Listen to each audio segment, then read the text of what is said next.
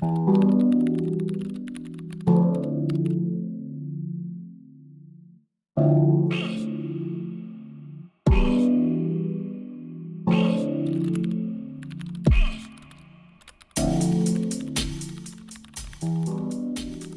scholars welcome back to the FullStyle Inc channel for another video. Today's video is a last minute DIY for the holidays. It's last minute to you guys, but it is not something you need to make last minute. This video is in collaboration with Tot from Totally Tots. Um, I will leave all her socials and blogs down below. We teamed up to create this Beyonce inspired blazer dress that she wore to the premiere of The Lion King. Absolutely spectacular. It sparkles, it shines. The skirt is detachable. Um, so enjoy. Starting off, I picked up a blazer, a man's blazer from the thrift store. Um, I tried to get it a little bit oversized so that I can have that fit for a actual blazer dress. But if you want to wear this to like be like an actual jacket, you could get something that's closer to your size.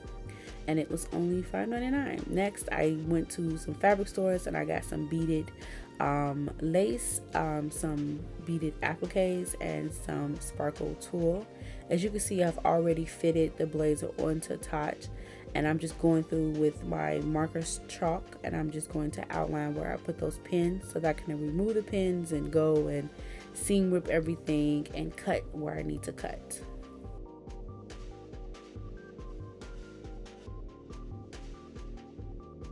Um, I don't have a lot of footage of me seam ripping, but you guys have seen me seam ripping many times before. I went ahead and removed the sleeves from the jacket so that I can be able to take everything in individually and then reattach the sleeves to the jacket.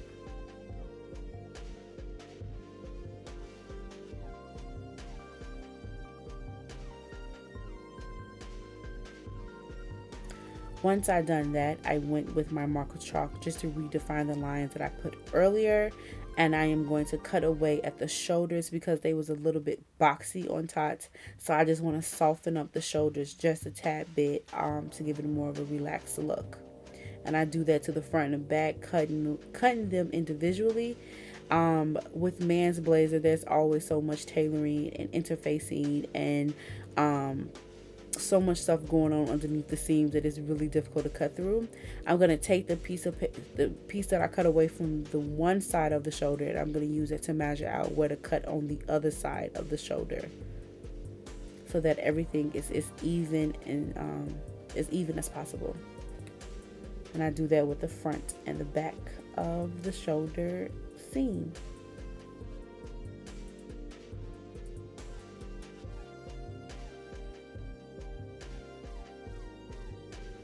Next up, I go and redefine my lines on the sleeves.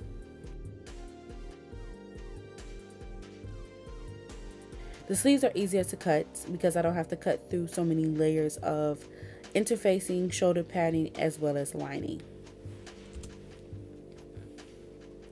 Once I have cut away at the first sleeve, I'm going to pin this together where I can go back and sew a new seam right sides together and I sew that all together with the lining as well as the outside um, fabric of the sleeve.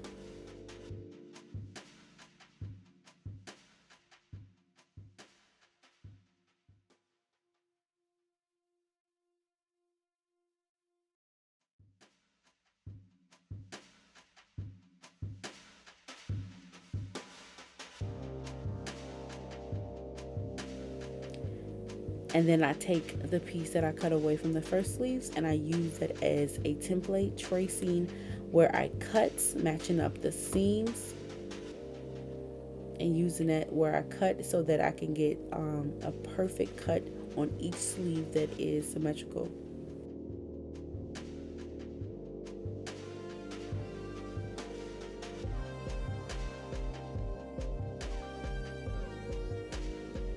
Once I've done that, I go I go in and fold over the lining um, so that the lining is has like a nice clean smooth finish and I just do a simple stay stitch if you have a um, serger or you can use the zigzag stitch on your sewing machine to finish off all of your edges since the fabric does fray quite a bit with the lining and the actual shell of the blazer.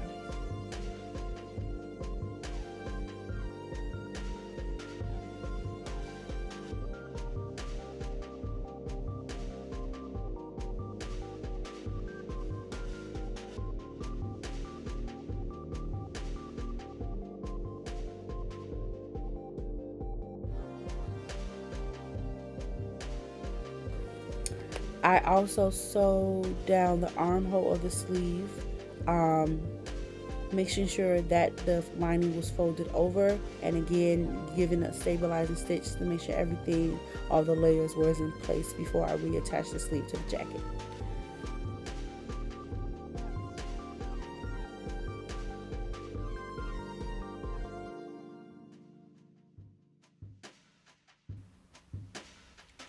Once I have sewed both my uh, sleeves, I go through and do a stay stabilizing stitch, which is basically a stay stitch around the perimeter of the armhole of the blazer, just to secure and lock all of that interfacing and padding into place so nothing is sliding and moving around while I'm reattaching the sleeve.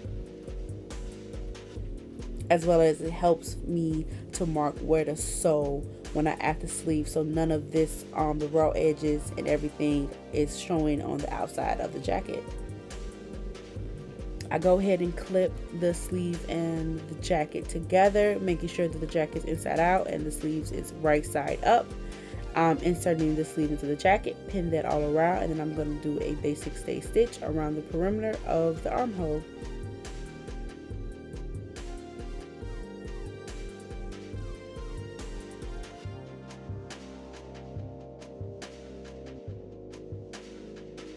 showing you what everything looks like once I am done sewing the sleeve back to the jacket and how clean it finishes look. There's no um, raw edges or no fray edges poking out. Everything is seamless together. Now I'm going to take this beaded applique that I got from Amazon. I'm going to leave the link below. Um, you can always purchase um, lace appliques at your local fabric store um, or craft shop. I'm going to cut that down the middle because I'm going to use each half of this applique on different sides of the blazer. And you can just see me here. I am playing around with the placement of the applique, um, trying to figure out where I want to put it, how I want it to look. Um, I knew from Beyonce's blazer that I didn't have enough appliques or the time to to make the blazer entirely covered in appliques but I did wanted to make it quite a bit of a statement so I knew I wanted to make the appliques a focal point so again, I'm just moving around and playing with the placement and um, seeing how I want everything to fall, whether I wanted to follow the shape and curve of the body or I wanted to give it more of a corseted look. And I whatever I do on the right side, I do it on the left side.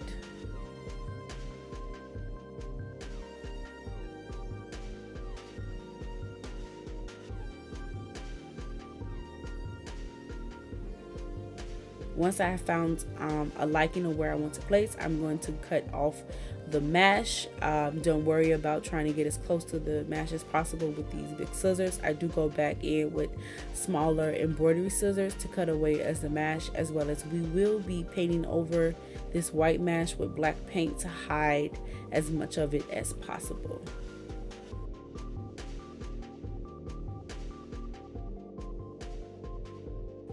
Um, I also have this beaded lace trim that I said I got from a local fabric store and I'm going to I cut it in half because it was like double um, mirror image and I cut it in half and I'm going to use that to create like a bordered hem along the hem of the blazer just for a little added detail as well as to help um, make things pop for the skirt of the blazer dress.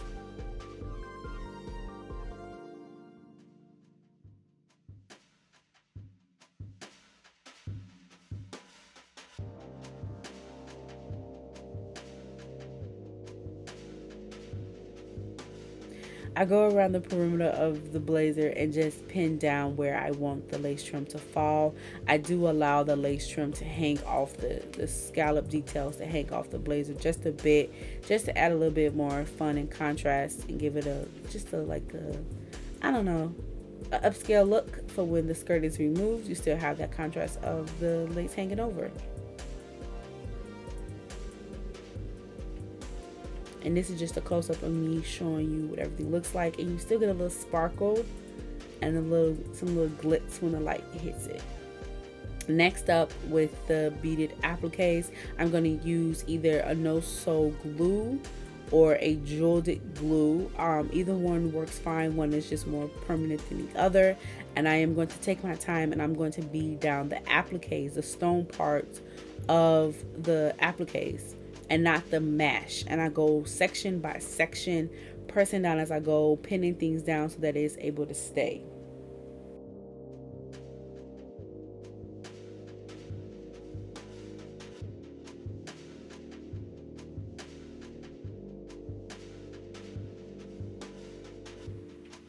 Again, I am gluing down the stone and the sequence part of the appliques, not the mesh itself and try to be as careful as possible. Um, the no sew fabric does dry white. Um, and it is going to be able to see, you will be able to see it with the black um, fabric.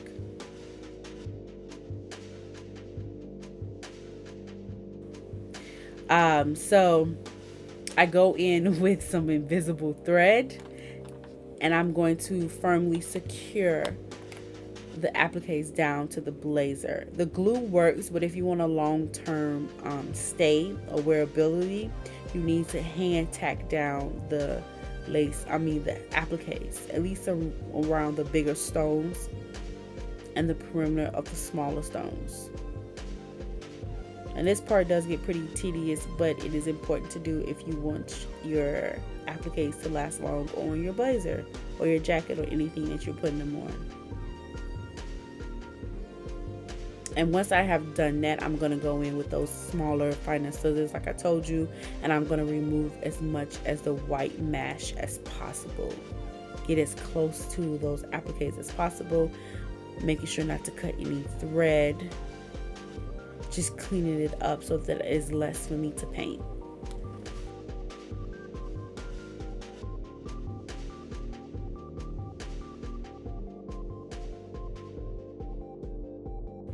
Once I've done that, I go back in with the glue just to secure any of the appliques that has popped up.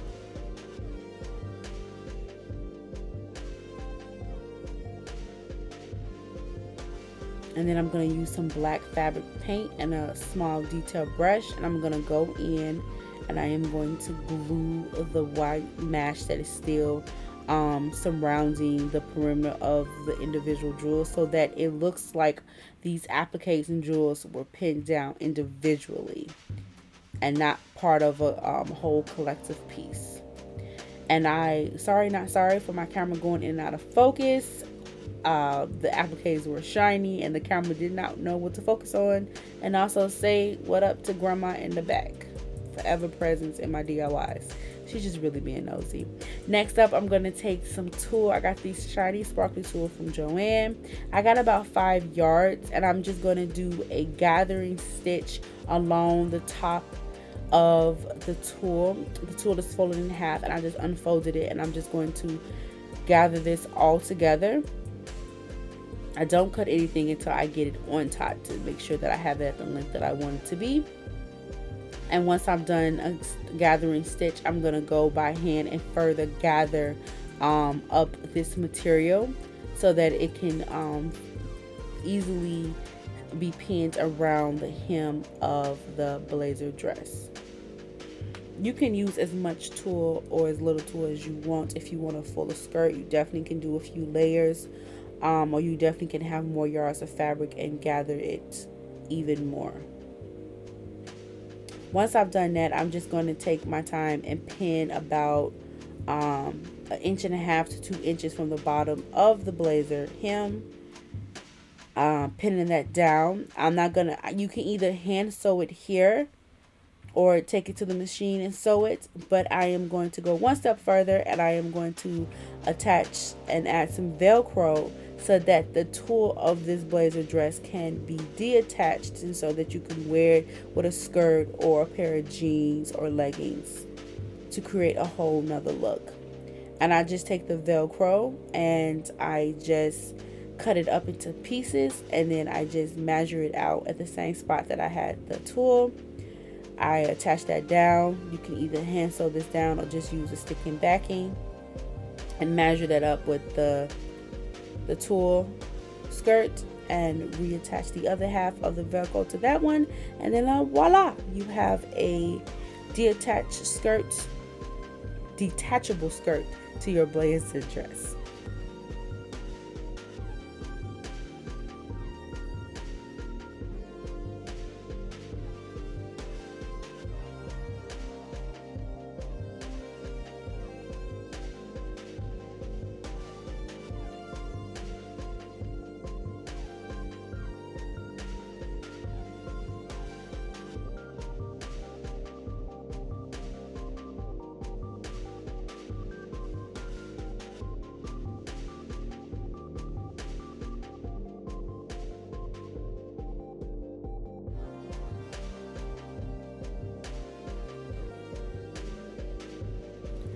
And once you have done that and you have hemmed your tulle, you are done with your blazer dress stylers.